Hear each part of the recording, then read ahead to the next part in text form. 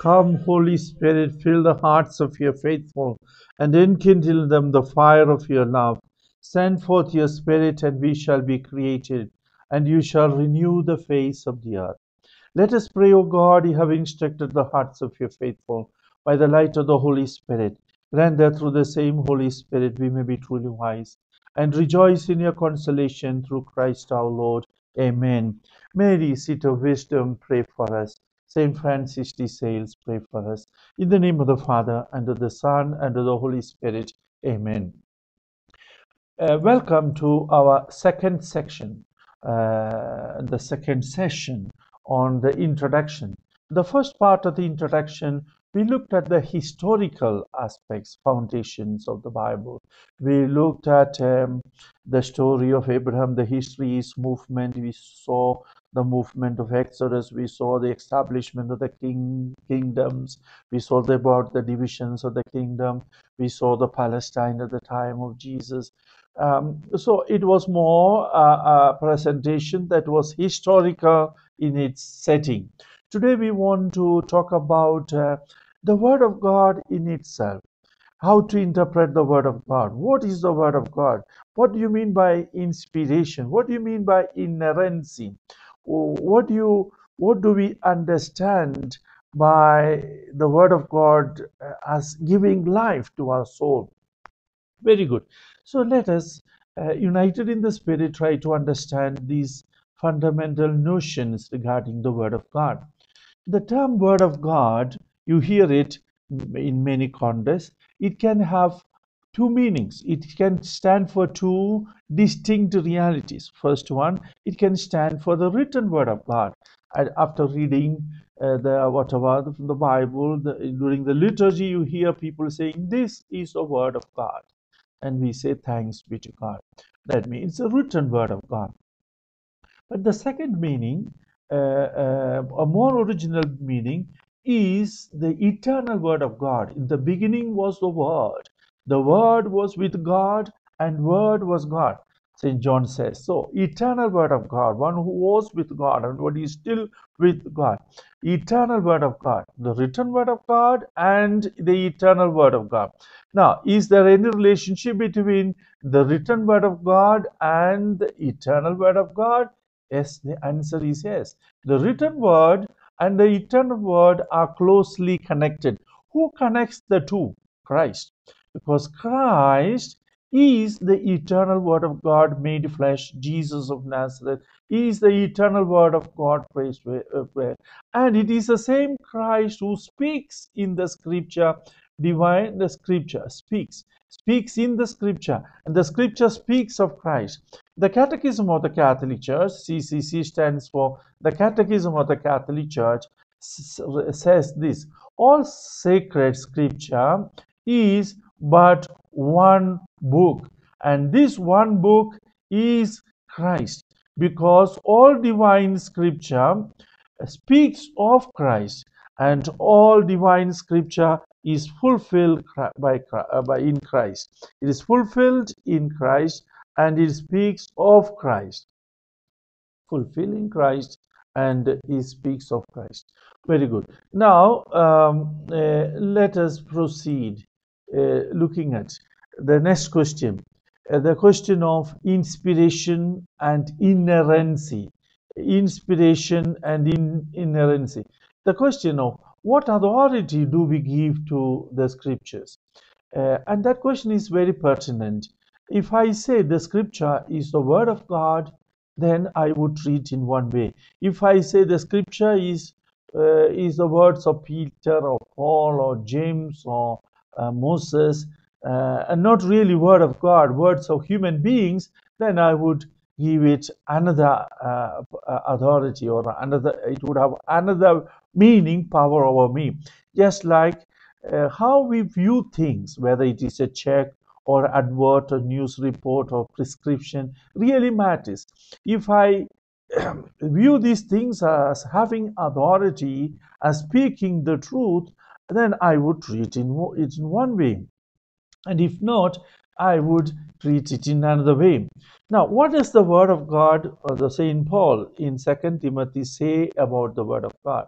He says, All scripture is inspired by God and is profitable for what? For teaching, for reproof, that means to correct people, reproof, for correction, reproof of correction, and for training in righteousness. What is this training in righteousness? Training in right thinking, right doing, right relationship, right worship. We learn how to do things rightly, eh, justly from or by studying the Word of God. So the Word of God, if you take it as truly inspired by, by God and it is without error, then we would treat the Word of God with utmost respect. Now, uh, what does it mean to say the Word of God is inspired? Uh, inspired, inspiration means breathing. In means within. Inspired means is someone is breathing within you. Because breathing, breath is life. But there is another life within that person, divine life. And who is that? The Holy Spirit breathes forth or speaks to in the person, inspired within the person, and he speaks to that person things to be written down about what? About matters of faith, and this is important, matters of faith and morals. Faith means what we are to call to believe, the truth, morals, how we are to live, to do things, and facts and events connected with our salvation history. Uh, these things are inerrant. There is no error. Why? God cannot lie. If if it is God's word, then we cannot expect God to teach us lies or tell us lies. He is truth. So all that is there relating to matters of faith, morals, facts, and events of salvation history are accurately presented in the sacred scripture. Yet, being it is also written by the human beings. Human beings were instruments, while God, the Holy Spirit, is the principal agent or order. Now, because human beings are active, what they would write about matters other than faith and morals, uh, facts and events of salvation history would be colored by what they know and how things appear. The authors wrote uh, according to the ways things appear to their senses. For example, uh, you might have heard about um, uh, Galileo, and he's saying the world is round, and uh, uh, people who say the church mistook, the church uh, punished him. But the fact is this: the yes, it is true. The early books of the Bible thinks that the world is a flat thing, uh, floating. The earth is a, the land is a flat thing, floating over the waters. So waters surround the land. Well, if you are on a seashore, and look at the sea and it, looks exactly like that as the land floating over the waters but today we know that is not the case now uh, when galileo or a, a scientist of that sort said things that are factually true physically true chemically true geographically true and where the bible could have got the writer of the bible would have made errors. Why did he make errors? Because that is how things appear to them. And why did God allow him to make such errors? Well, God's purpose was not to teach us chemistry, biology, history, physics, Uh, botany. No, no, those are not God's purpose. God wanted us to reach Him through the, the Word of God, to know Him, to love Him, to serve Him, and to be with him. That is the purpose for which the scriptures were written.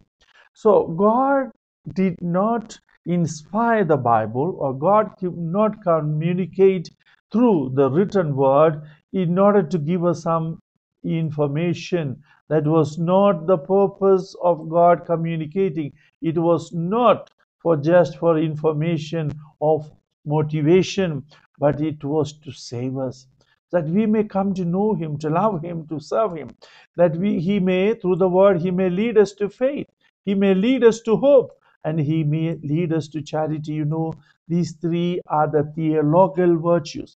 the foundational virtues. Without these qualities within the person, faith, hope, and charity, that person cannot be saved. No one can be saved because it is faith, hope, and charity that brings us to communion with Him.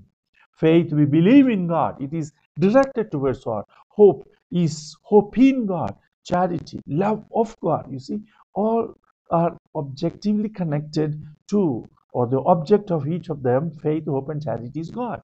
And therefore, when we grow in faith, hope, and charity, we are saved.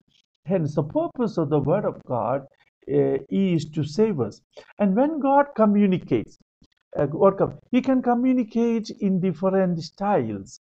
For example, He can come come down to us. Imagine a parent uh, and he has a child of six, seven, eight years.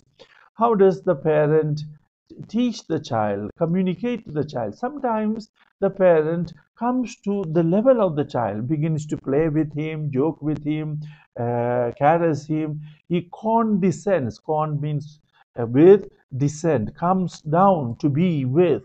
And many times we see God speaking to us, communicating to us in our human fashion with our human categories, with our human emotions. But at the same time, just like a parent who at times do not condescend but raises the child to where he is, where he is. He wants the child to do something which is difficult. He wants the child to read some letters. He wants the child to lift something uh, that is essential. Now, or to take food so the parent might demand, elevates, lifts the child up. Similarly, some of the writings on the scriptures is intended to raise us from our level. Uh, a good educator is someone who comes down to the level of the pupil, but then does not stay there. Then lift that pupil to where he is by teaching him, by forming him. Similarly, God comes down to us and then he raises up to where he is. That is the purpose of the scriptures. Now, um, about interpreting the scriptures. How are we expected to interpret the scriptures? What are the rules, uh, criteria that we need to keep in mind to interpret the scriptures? Now, the, the first criteria that is that we must be uh, attentive to the content of the Word of God and the unity of the whole Scripture. What is the content? We already said the content of the written Scripture is not physics, chemistry, biology. No, the content is faith, morals, and the truths about the history of our salvation. That is the content. Be attentive to that.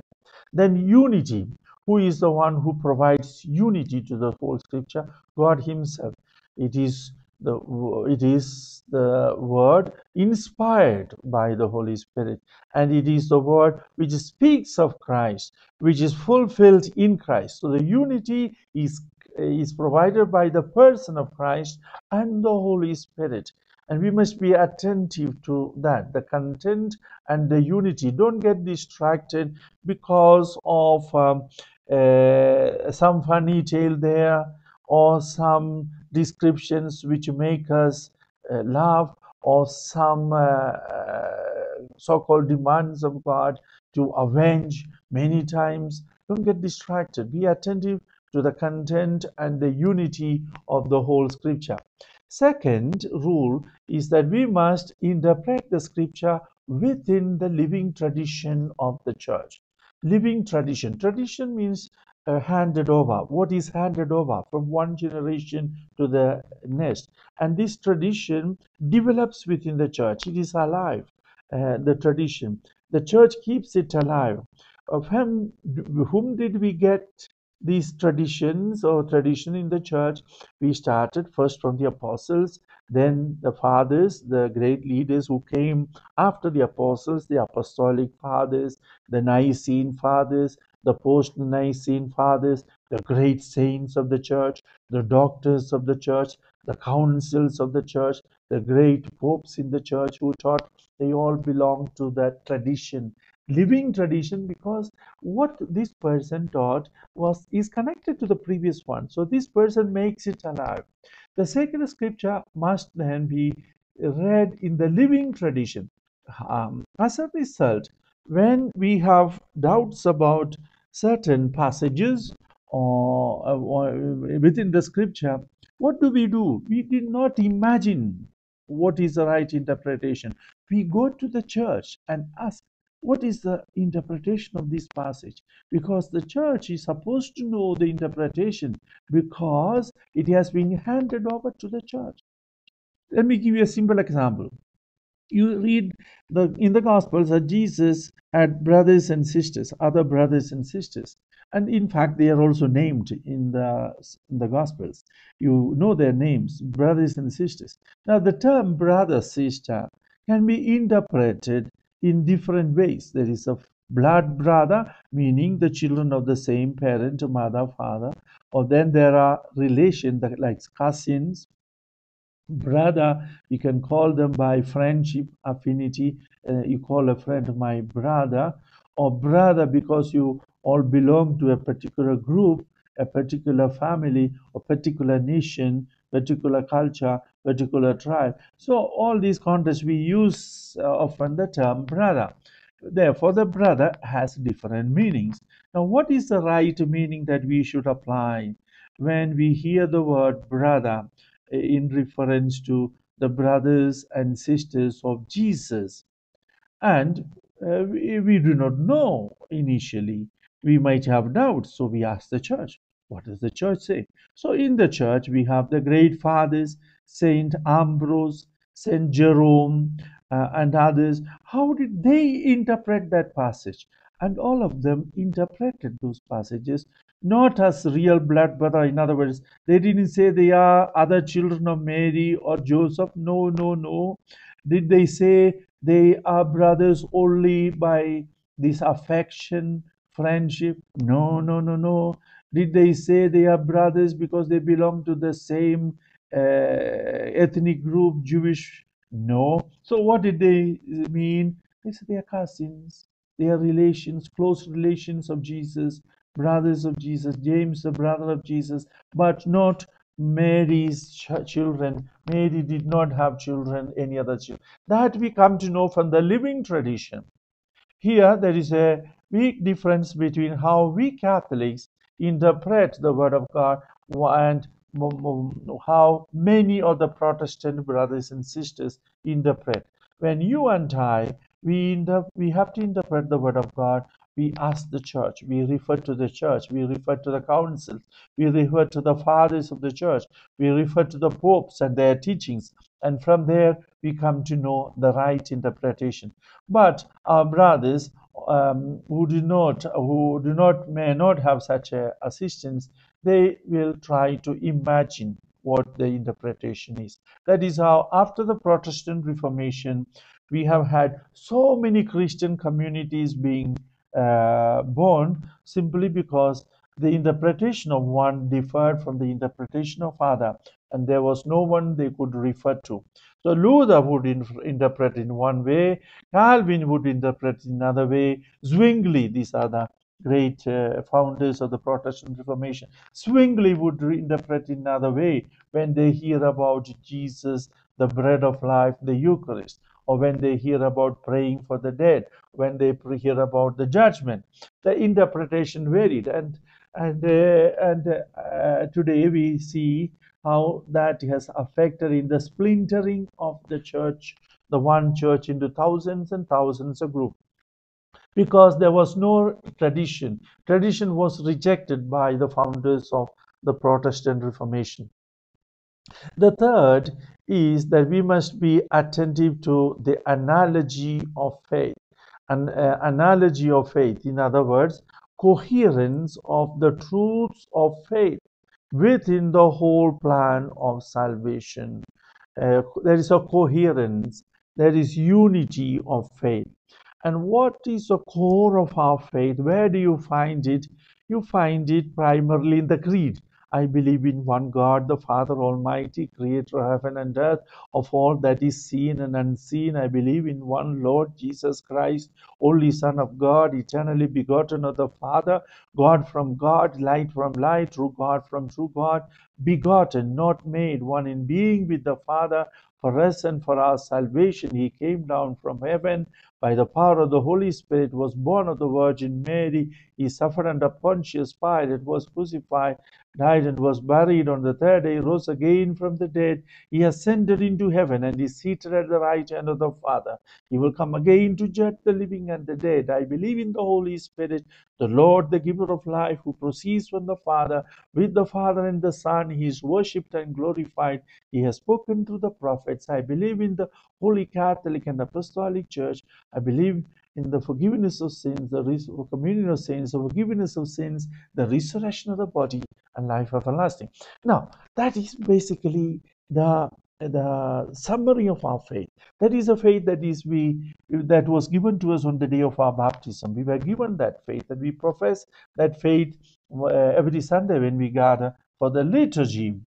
Now, everything else must be coherent with that faith that there is a truth i mean there is coherence there is unity when uh, when anything that we hear contradicts or is opposed to what we profess in the creed then we must know that is a wrong interpretation so uh, there are many for example uh, there are many places in the in the gospels where we see jesus humanness he cries he weeps he says he does not know the hour etc. And you think Jesus is a human being, therefore, he is not God. So when we are tempted to think he is not God, we must say, no, no, that is a wrong interpretation. I, I cannot deny his divinity because the creed clearly teaches me that he is consubstantial with the Father. So these rules are important that we keep this mind, these principles, these criterion uh, criteria by attentive to the content and unity of the whole scripture. Read the scripture within the living tradition of the church. Be attentive to the analogy of faith coherence of the truths of faith in the whole of plan of salvation then um, uh, then we moving forward. We need to know something about the two senses or meanings of the scripture. Uh, this is an important thing because our study of the scripture now the word the word of life bible study program that we have begun is intended to help us to understand the literal sense and to a bit also the spiritual sense of the scripture so the word of god has two senses or two meanings according to the tradition of the church uh, ancient tradition we must and we can distinguish between two senses. Now, sense is a technical term, this word sense.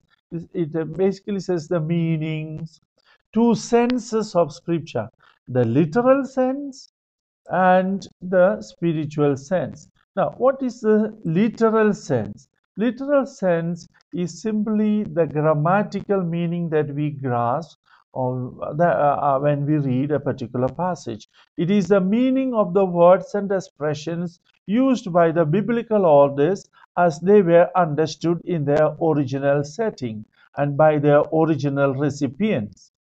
Uh, Jesus speaking to the Samaritan woman.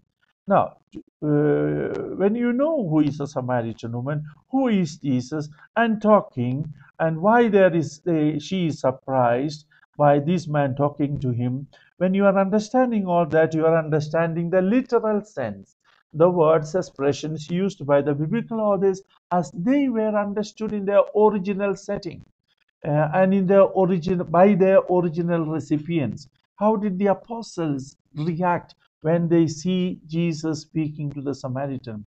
And uh, you are surprised. Why did they say that? But once you understand the context, then you will not be surprised that uh, the fact that the apostles, the disciples, were shocked uh, to see him talking to a Samaritan woman. Now, literal sense, therefore, is a meaning that comes out through the uh, passage use which you probably use as various figures of speech such as metaphors simile hyperbole uh, linguistic expressions, types of literature, poems, narratives, parables, proverbs, etc. And when you learn, just like in the school, you learn literature, when you learn Shakespeare or when you learn an African author uh, and their novels or their pieces of work, you understand the meaning of their metaphors, similes, hyperboles, the types of their language. You understand them better.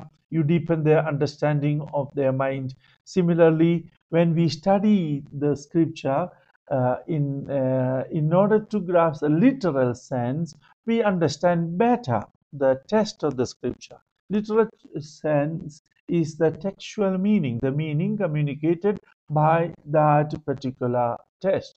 Now, the literal meaning is important because the spiritual meaning, about which I am going to speak uh, immediately now after this, is based on the literal and is important it is based on the literal.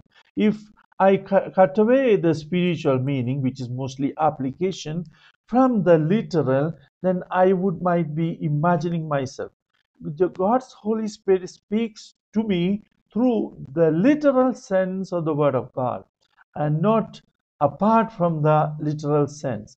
So uh, now, uh, literal sense, uh, like Lord is my shepherd. This is shepherd is a metaphor. The day will come like a thief. Like a thief is a simile. The bread of life is a metaphor. And the way, the truth, and the life, they are images. They are images. Kingdom of God is a metaphor. Treasure hidden in a field Notice the use of the term like, meaning simile. You are the salt of the earth. Bible is full of such um, figures of speech, and we interpret it as a figure of speech. Sometimes the Bible uses hyperbole or a sort of exaggeration that all from Judea came to see Jesus. Well, the fact is, uh, certainly not everybody all didn't come. Uh, but meaning to say a great number came. When Jesus tells you if your hand causes you to, to, cut, uh, to sin, cut it off. If your eye causes you to sin, pluck it out. Of course, we don't do it. Though we commit many sins with our eyes, with our hands, with our tongue. Why? Because we know that should not be taken literally, but it should be taken as a hyperbole, a style of speaking, a way of speaking. Okay, uh, the literal meaning. Eh? So, literal meaning is a grammatical meaning, the meaning that the author had in mind and what the listeners, hearers at that time understood. Now, what is a spiritual meaning? Spiritual meaning is the meaning that the Holy Spirit is trying to communicate to me right now through the Word of God. It is a uh, meaning that the Holy Spirit is telling, giving me. So this is what the Holy Spirit is trying to tell us beyond even what the human authors have consciously asserted. The spiritual sense disclosed deeper uh, to it reveals deeper the mysteries. What is a mystery? The divine revelation and uh, which are communicated through historical realities. It helps us to deepen uh, and this image is a very good image to understand the connection between literal sense and uh, spiritual sense. What is the connection between the soul and the body? Body is a material dimension, soul is the spiritual dimension of the person. But the person is one. There is no body without the soul, and there is no human soul without the body. Uh, they are always united. It's only in death it is uh, it is uh, separated for some time. Now, uh, uh, the soul animates the body, gives life to the body, and the body embodies the soul. Similarly, the literal sense is animated by the spiritual sense, and the spiritual sense embodies, covers, gives flesh to the, the literal sense. So, what the soul is to the body, the spiritual sense are to the literal sense. Now, uh, again, one more, we have to take one more step. The spiritual sense may be subdivided into three. The spiritual sense may be further be subdivided into C. One, allegorical sense. Second, moral sense. Third, anagogical sense. It is easy to distinguish the three if you are able to connect them with faith, hope, hope is here, and love. Faith, hope, and love. and love, sorry. If you are able to connect with faith, hope, and love, the allegorical sense deepens our faith. The anagogical sense deepens our hope. And the moral sense deepens our love. In other words, we grow in faith, hope, and love when we allow the Holy Spirit to communicate to us the spiritual meaning through the literal meaning. Allegorical, understanding the events by recognizing their significance in Christ. Moral, understanding what I am expected to do now. What is the most loving thing to do now?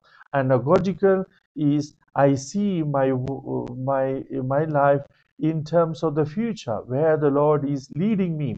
So realities and events are viewed in terms of their eternal significance, hope. I want to give you a small uh, example here. Uh, you are familiar with the parable of Jesus when uh, Jesus was when uh, Jesus was asked this question, uh, who is my, uh, what must I do to inherit the kingdom, the young man? And Jesus said, you know, uh, the commandments, uh, love your God with all your heart. And then the young man was anxious to justify himself and said to Jesus, now tell me, who is my neighbor? And in answer, Jesus said, a man was once on his way down from Jerusalem to Jericho and fell into the hands of the bandits. They stripped him, beat him, and made off, leaving him half dead. Now, a priest happened to be traveling down the same road, but when he saw the man, he passed by on the other side. In the same way, a Levite who came to the place uh, saw him and passed on the other side.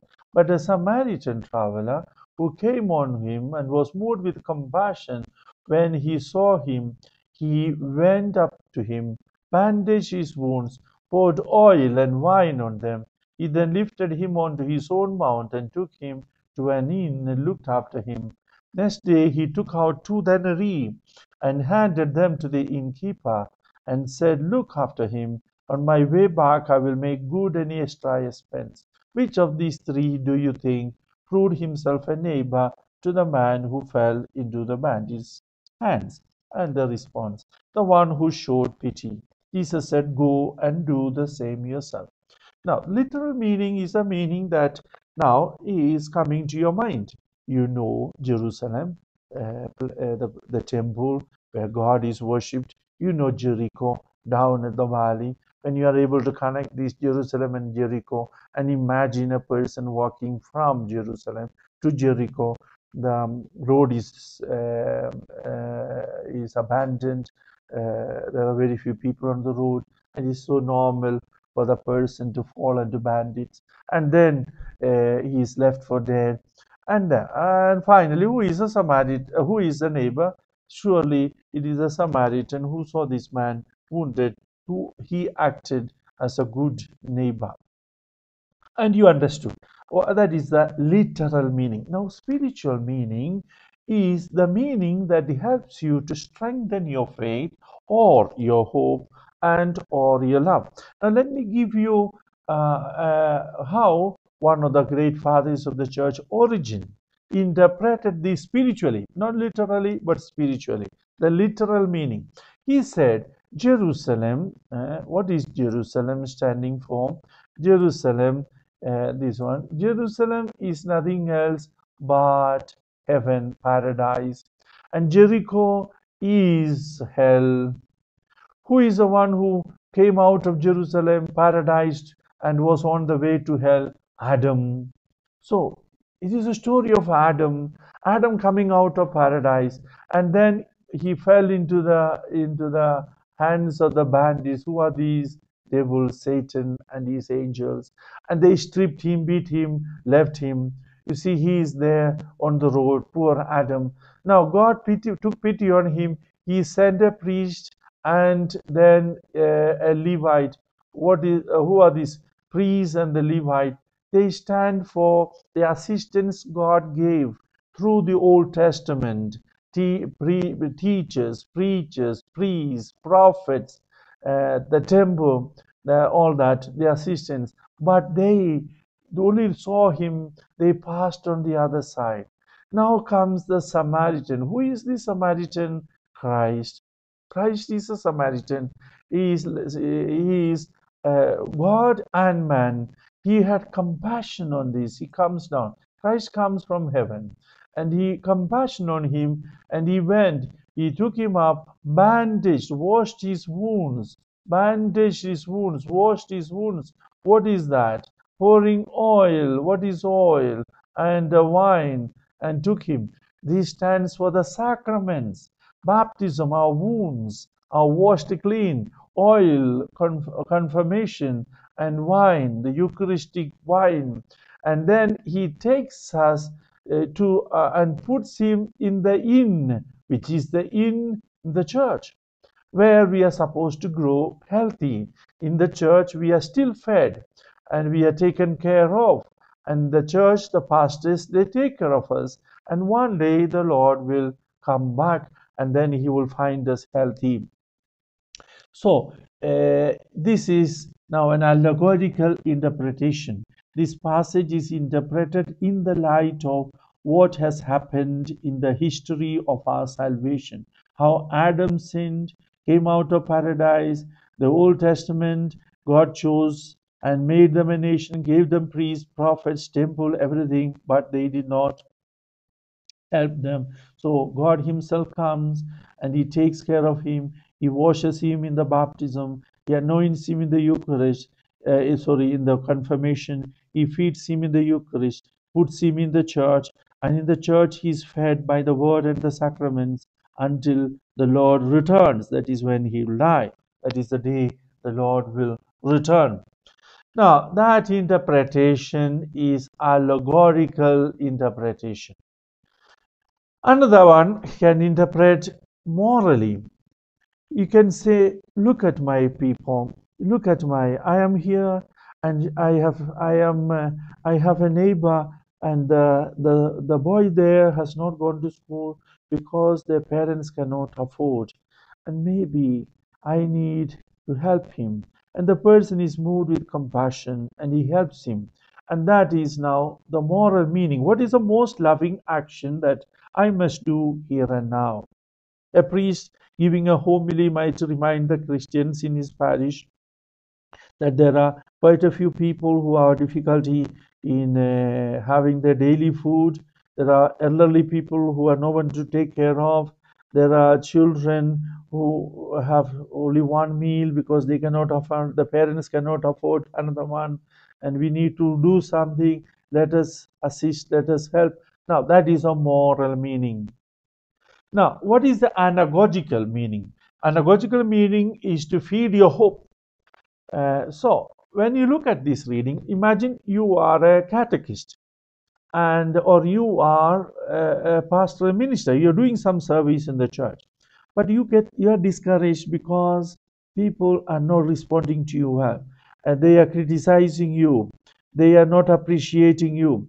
You want to give up but then you read this passage and the holy spirit spoke to him uh, uh, uh, highlighted these words uh, uh, look after him and on my way back I will make good any extra expense you have.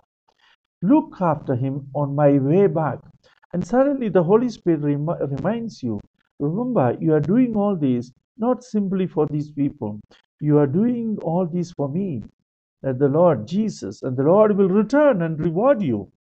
These people may not reward you because they are human beings, but God will reward you. He will return for everything that you suffered. He will reward you and that now the catechist is uh, encouraged the the one who carries out certain ministry is encouraged and he goes home enthusiastic uh, now willing to commit himself Now, that is the anagogical meaning that is coming out from that passage.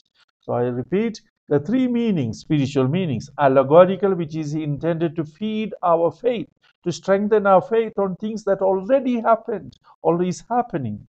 Second, uh, moral meaning is to strengthen my love, uh, my love here and now. What is the most loving action to do here? And the moral meaning, Spirit tells me that. Anagogical meaning is to strengthen my hope.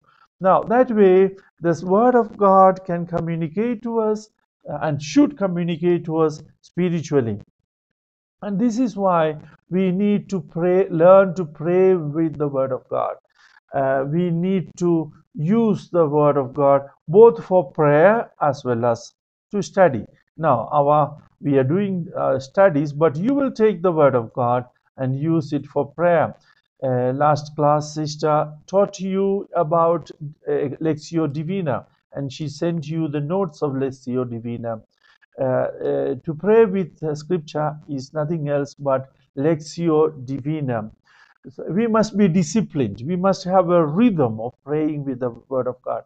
Uh, let us say, every day I will read a, pa a passage. Every day I'm going to read a chapter uh, and uh, one after chapter and then after reading and rereading that chapter that passage again and again and i will meditate reflect about it and i will try to apply to my own life the spiritual meaning right now and i will pray about it now that is that is using the bible in the right way that the spirit wanted us to use for our interior life for our study so we are approaching the Word of God. Let us not forget us as we come closer to the Word of God. The Word of God, the eternal Word of God, has been approaching us even before we were born. Uh, it is like the two lovers moving towards one another. I, my heart is moved by love towards the Word of God, and the Word of God, Christ Himself, is moving towards me. In fact, it is He, through the Spirit, who planted that love so that I may move towards Him. He has been from eternity moving towards me, wanting to make my heart His home, wanting to be fully united with me. God created us for Himself, to be united with Him. God did not create it for our spouses, eh? for our children. Yes, we have to love them in this world, our spouses. But first reason why God created me is for Himself. Our hearts are restless until they rest in God. So that is a movement towards God. And thank God because God has planted this love in your heart to spend every week two hours studying with me and as a group the Word of God. And every day spending some time reading, reflecting, and praying with the Word of God. That love in your heart, believe, brothers and sisters, has been planted by the Holy Spirit.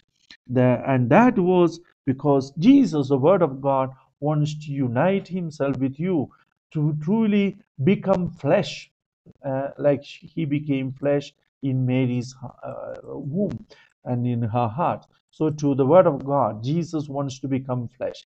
Last class, Sister spoke to us about how to pray with the Word of God.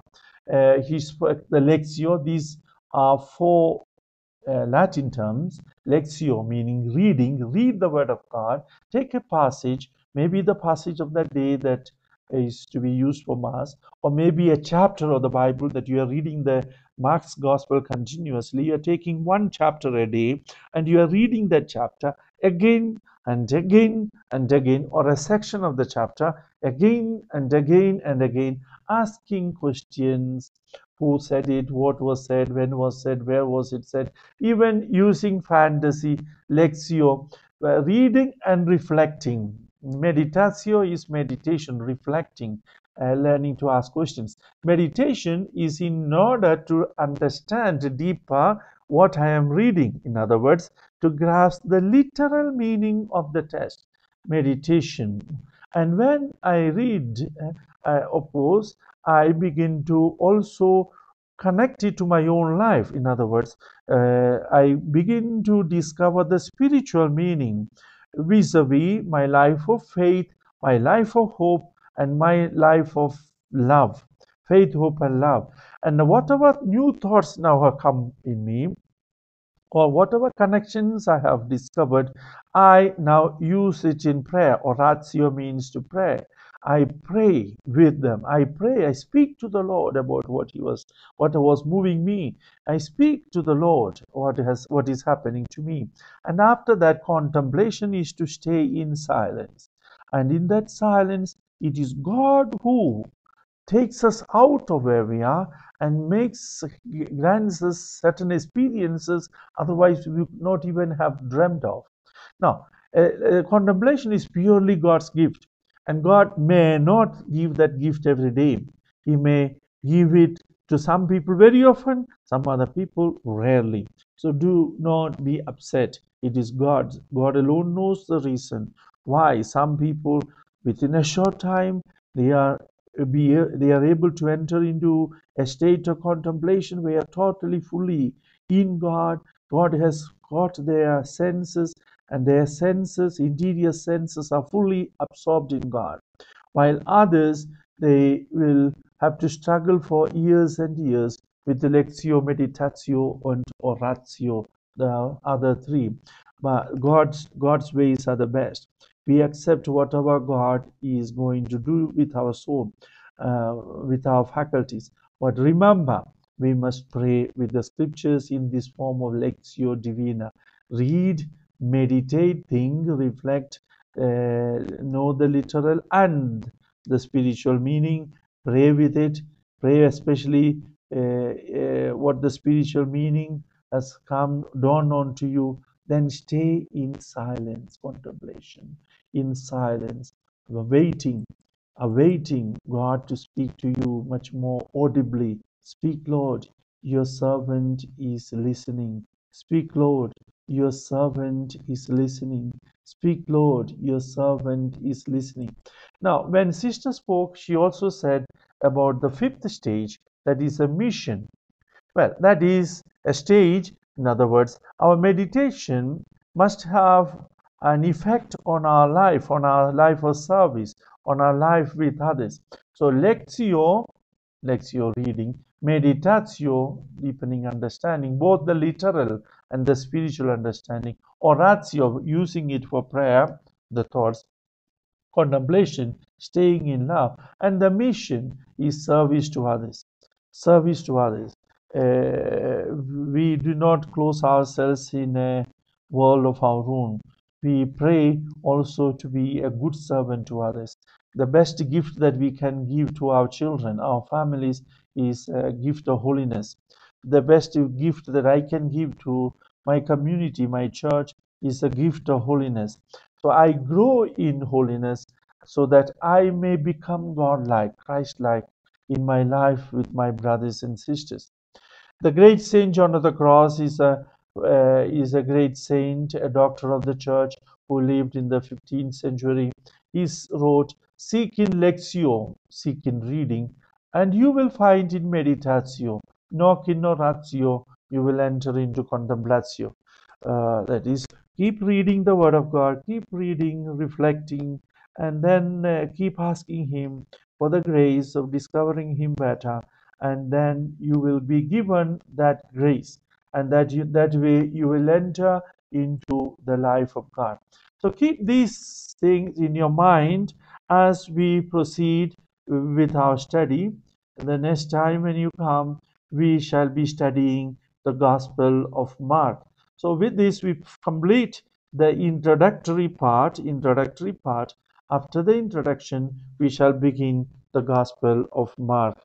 Glory be to the Father, and to the Son, and to the Holy Spirit, as it was at the beginning, is now, and ever shall be, world without end. Amen.